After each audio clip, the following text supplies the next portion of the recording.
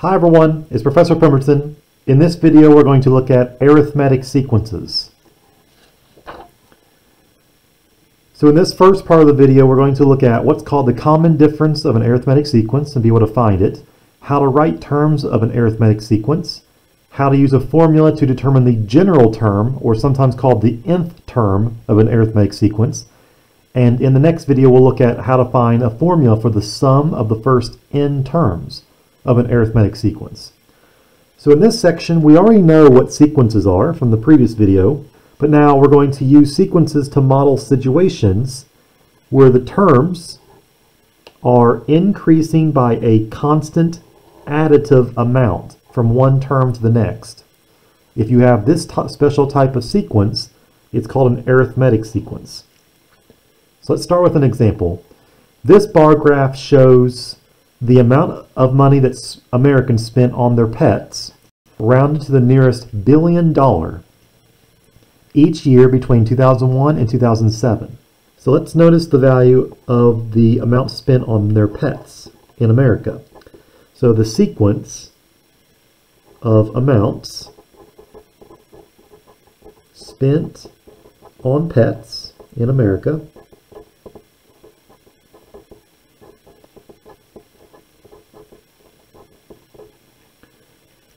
increases by 2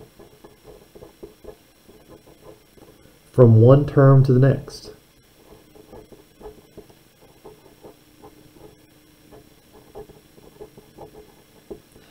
So in 2001, the amount spent on pets in, in, the United States was $29 billion. And then in 2002, it became 31 billion, and then 33 billion, then 35 billion.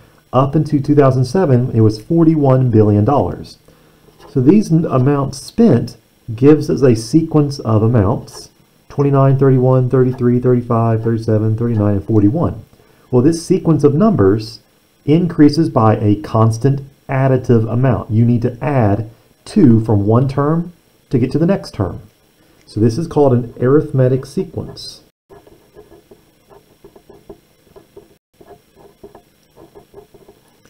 And the amount that you are increasing from one term to next is called the common difference. So the common difference in this sequence is 2,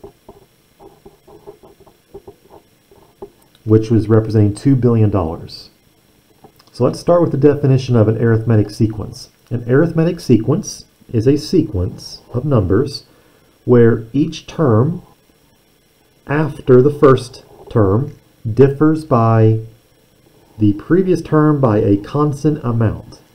So you're adding the same amount from one term to get to the next term, and then get to the next term, and so on. So the difference between consecutive terms is called the common difference, and we're going to denote this with a lowercase d. So the common difference, d, is found by taking any two successive terms and subtracting them to get the common difference. So let's try out this first problem. What is the common difference for each of the following arithmetic sequences? So they're already telling us that the terms differ by a constant additive amount. So the first sequence, 142, 146, 150, 154, 158. It doesn't matter which two consecutive terms or successive terms you choose, but choose two of them. Let's choose 142 and 146.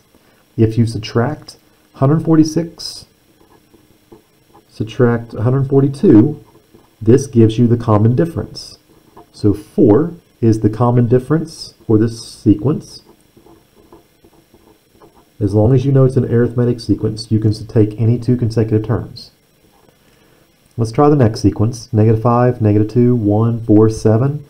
Again, take any two terms, consecutive terms, if it's an arithmetic sequence, and subtract them. 7 subtract 4, and you get 3. So that's the common difference for this second sequence.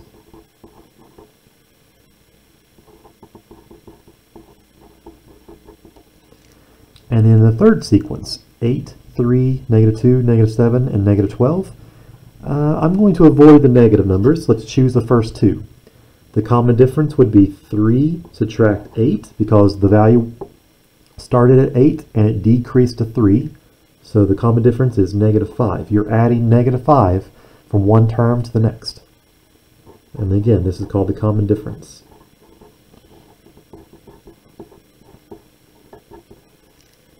So again, choose any two successive terms to calculate the common difference.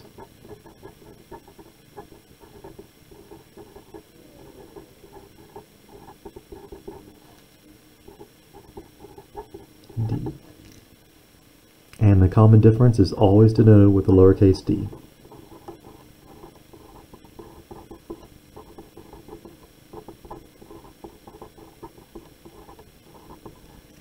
So let's look at the graphs.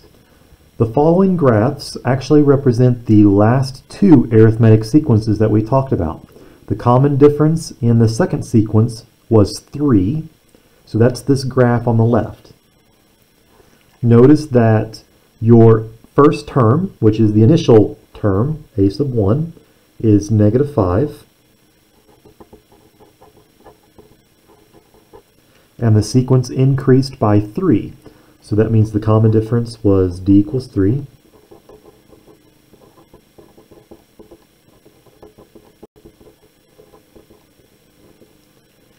This sequence was increasing in value, so this is called an increasing sequence. So it should look like the points are rising as you go to the right if it's an increasing sequence. On the other hand, the last sequence that we looked at, the common difference was negative 5. So we were adding a negative amount from one term to get to the next term. So the common difference was negative 5 for this sequence.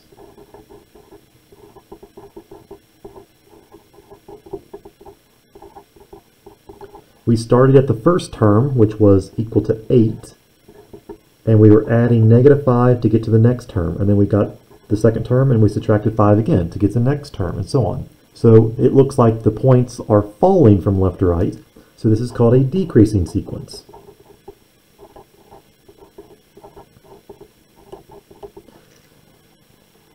The one important note that you should consider with these graphs is that the graphs are a set of discrete points. We saw that from the last video with sequences and their graphs. But with an arithmetic sequence, it looks like the points, if you have a common difference of 3, it looks like the points are rising from left to right on a straight line. Same thing if the common difference was negative 5. It looks like the points are falling from left to right, but they are falling, it looks like on a straight line, a constant amount.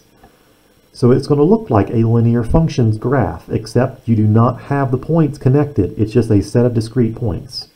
So the first term in an arithmetic sequence is a sub 1. We're going to come up with a general formula so that we can find out, say, the 18th term without knowing the previous 17 terms. So then we're going to get what's called the general term. So the first term is a sub 1 in this arithmetic sequence. Keep in mind it has to be an arithmetic sequence. How do you get the second term? Well, you take the first term and you add the common difference. So you take the first term and you add the common difference d to get a sub 2. Well, then you get a sub 3 by taking a sub 2 and adding the same amount, d. So this gives us a recursion formula. It says if you want to find out the nth term, a sub n, you take the 1 before it, a sub n minus 1, the n minus first term, and you add the common difference. So this means to find the nth term in an arithmetic sequence,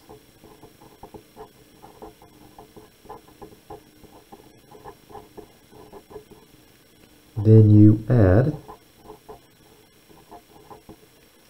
the common difference, which is d in this case, the number d, to the previous term.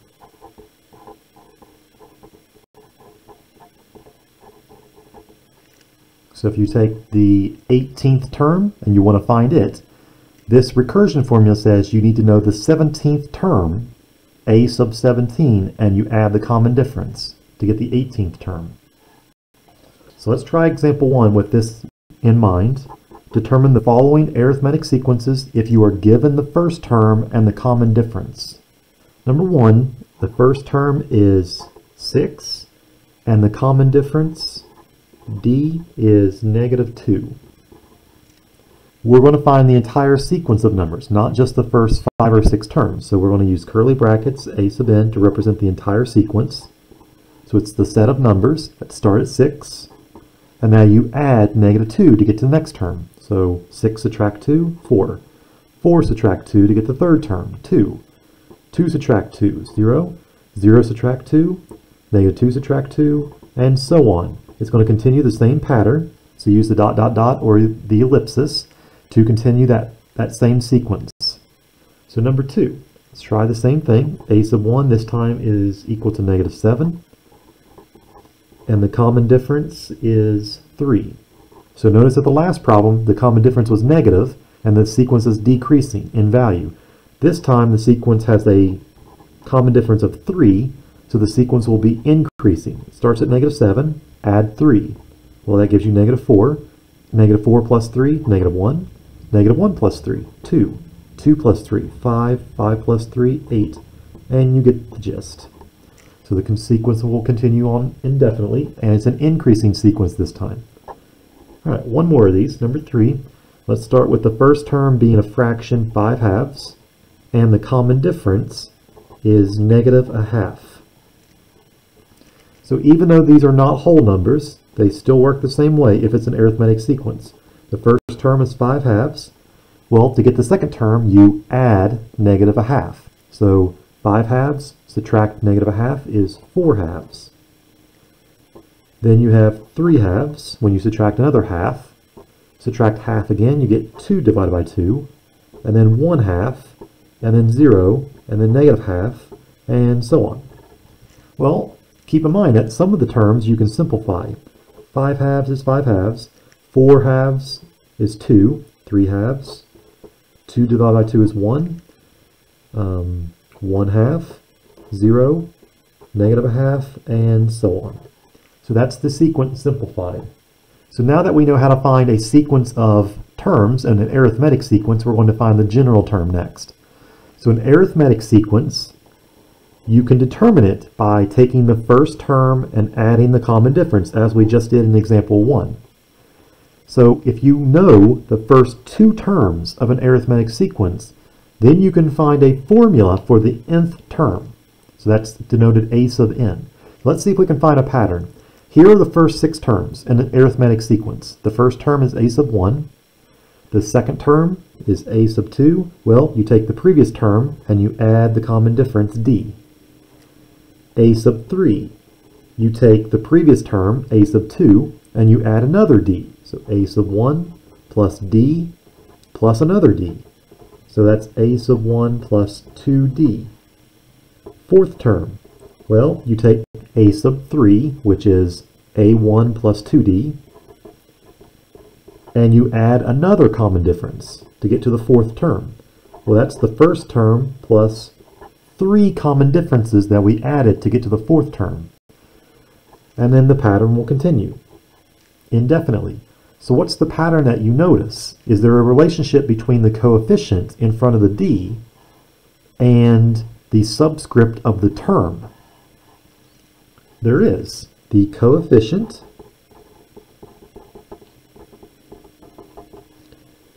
of the common difference, which is d, is 1 less than the subscript.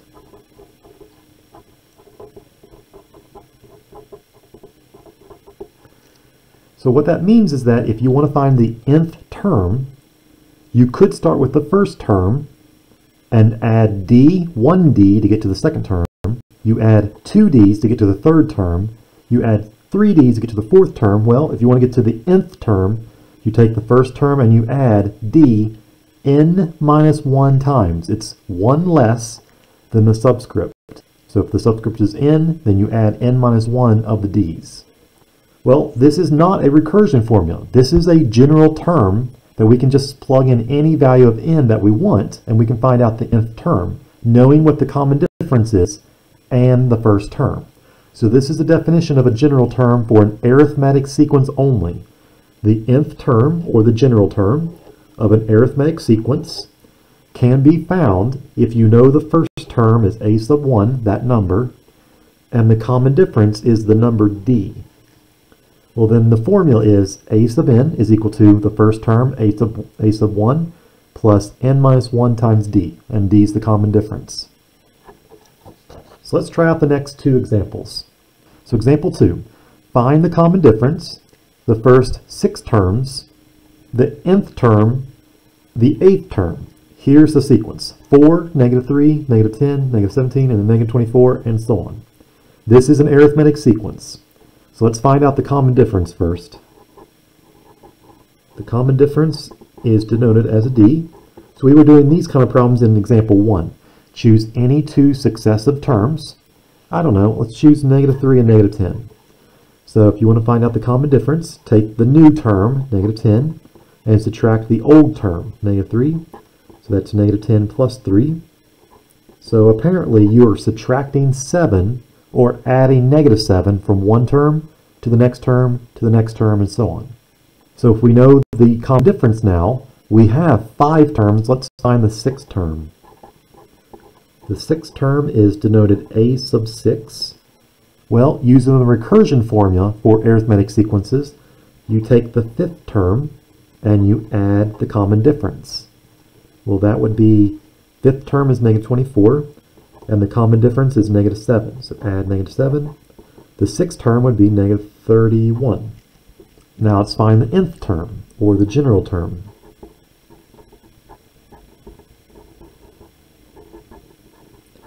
So keep in mind the general term is a formula that involves the variable n. So a sub n.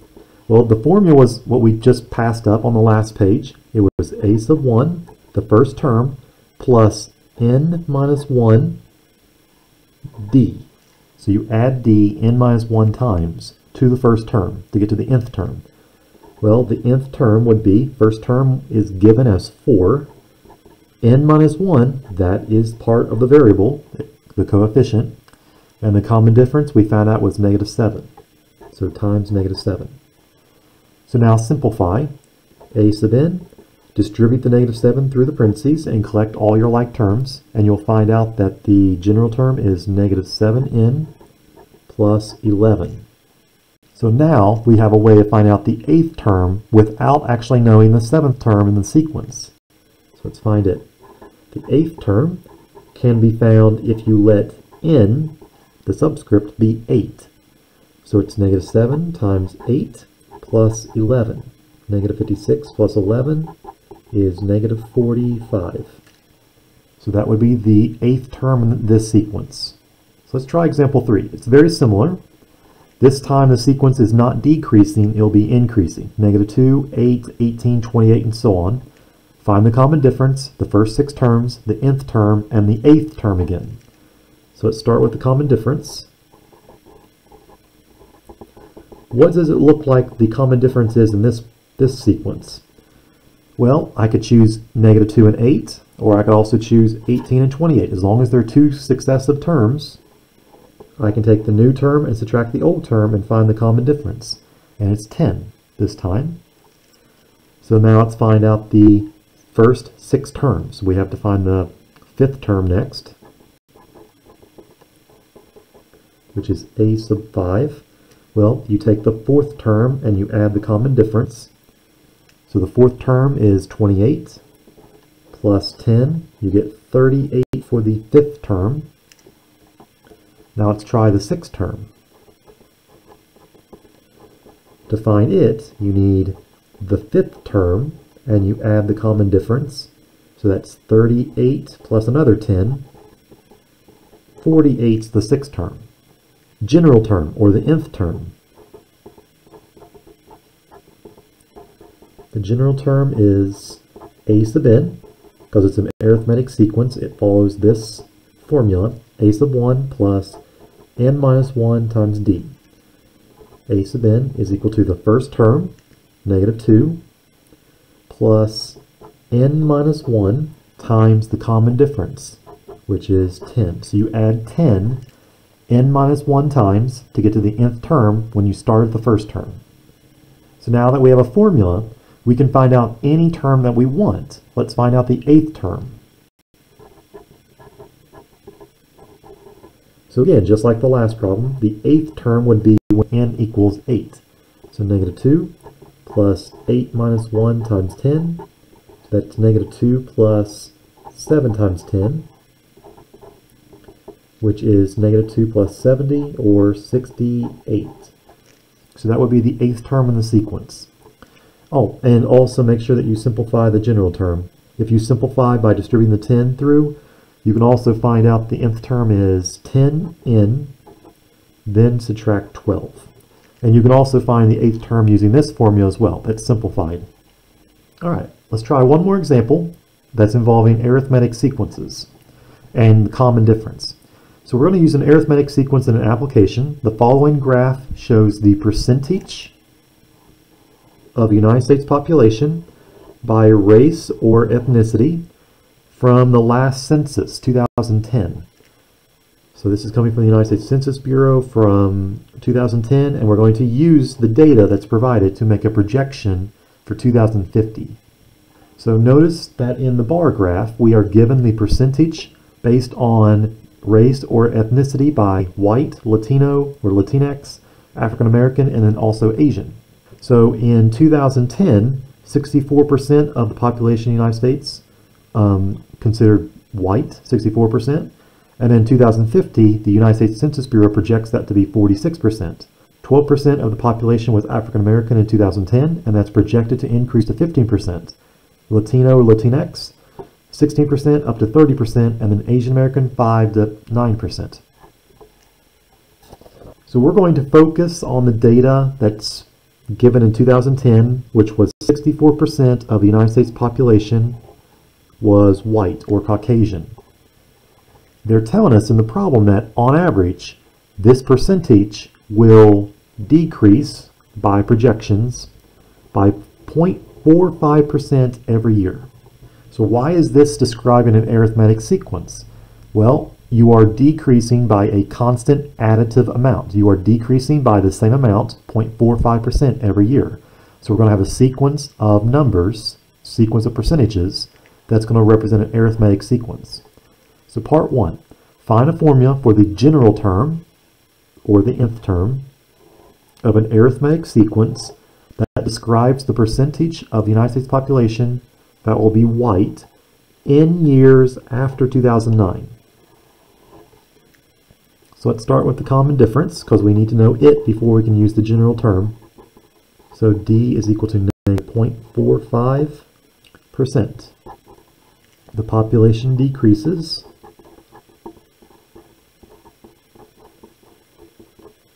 by 0.45% each year. So we have the common difference. Now we also need to know the first term.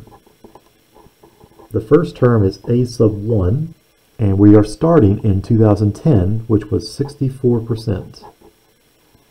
So the population, white, in 2010. Now we need a general term or an nth term. So if this is an arithmetic sequence, it follows this formula, a sub 1 plus n minus 1 times d. So we have the first term and the common difference. We can figure out the formula. First term is 64. We're, all, we're going to assume that everything's percentages, so you can just drop the units. Plus n minus 1 is part of the formula, and the common difference is negative because the population percentages was decreasing. So negative 0.45. Again, keep it as 0.45 because it's already a percent.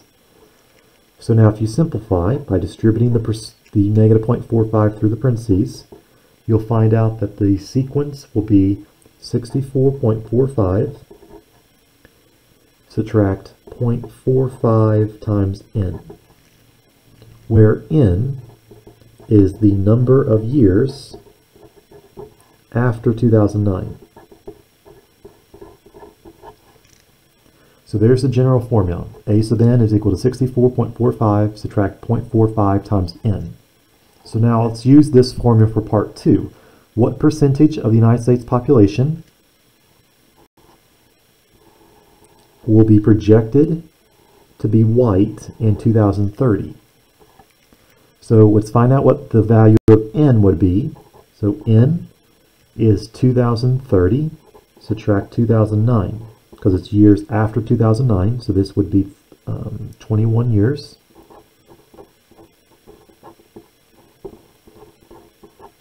So now we have a way to find out what term in the sequence we need. We need the 21st term. Well, a sub 21 would be 64.45. Subtract 0.45 times, you need to subtract 21 times 0.45 from 64.45, and this will be 55. And the units are percent, and this represents 55% of the population of the United States.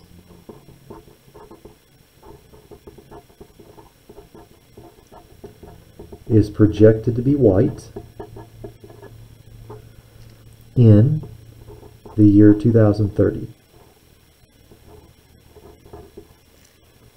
So this gives you an introduction of arithmetic sequences, the common difference, and also how to find out the general term if you know the common difference and the first term.